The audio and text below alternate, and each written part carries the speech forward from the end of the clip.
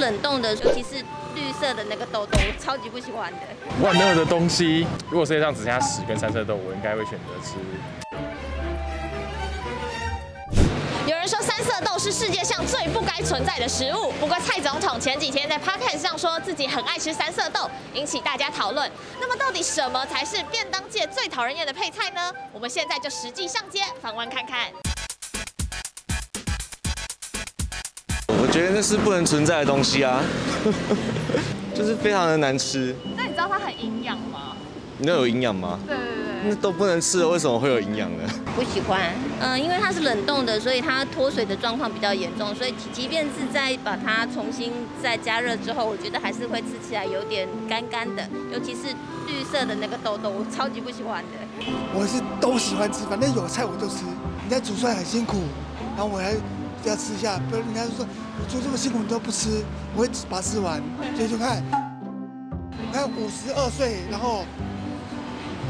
六十五公斤左右，万恶的东西不该被存在的。如果世界上只剩下屎跟三色豆，我应该会选择吃，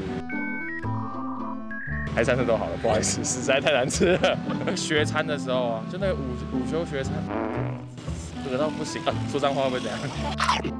小学三年级的时候，然后我去抬学餐，打开学餐哦，然后只有一个鸡腿，然后里面竟然有两份，竟然是三色豆，两份三两份三色豆，然后炒一个不知道什么红萝卜，Oh my god，三色豆已经有萝卜了，然后他还炒一个超大块的萝卜，那整份大家都没有吃，然后我看到有人吃三色豆，我觉得哇，真的是他应该是上帝吧。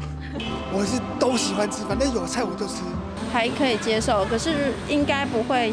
自己买来吃，哎，就是如果便当里面附的话会吃掉，因为我们还是习惯吃比较新鲜的蔬果啊。那个是，就是冷冻，其实它水分都会还是会跟新鲜的新鲜的口感不一样。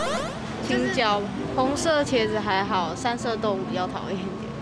咖喱吧，因为有时候那咖喱真的是一个稀到不行，我不知道那个东西到底是不是称为能称为咖喱的东西。最讨厌就买上树很干。我不喜欢茄子，就是很恶心，就是软软的那种。我什么都吃，没有不喜欢的。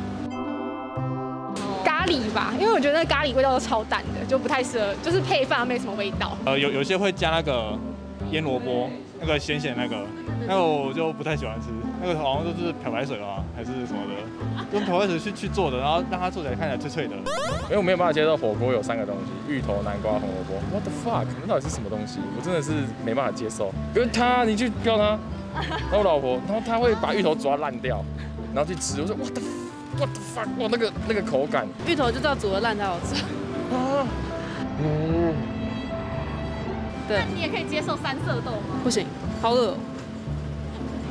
香菜吧，那可以叫香吗？那叫臭菜。我跟你讲，火锅里面绝对不能有芋头，它会让你的汤变成格格，就是砍干的那那种状状态。啊，你吃火锅就吃火锅，为什么一定要一定要这样做？我就不喜欢。